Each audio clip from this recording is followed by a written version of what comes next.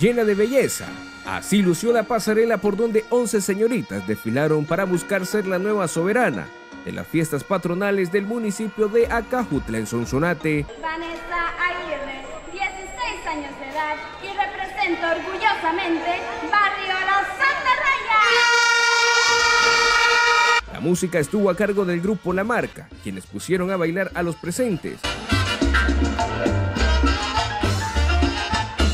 El alcalde Benjamín Hernández aseguró que se estarán realizando una variedad de actividades para que el pueblo acajutlense pueda disfrutar a lo grande de sus fiestas. El Consejo Municipal decidió darles a Acajutla unas fiestas municipales como realmente se lo merecen. Nuestro lema siempre ha sido trabajar por el Acajutla que merecemos. Y esta noche empezamos con una serie de eventos en los que se ha invertido el dinero del pueblo, el dinero que ustedes mismos pagan a través de sus impuestos, para traerles una fiesta de calidad.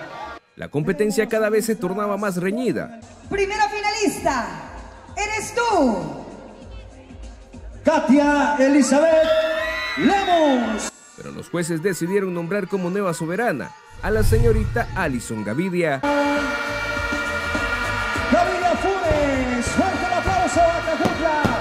Tiene nueva reina. Muchas felicidades. Los festejos patronales se realizan en honor a la Santísima Trinidad, del 21 al 30 de mayo. Jonathan Orellana, Informativo 16.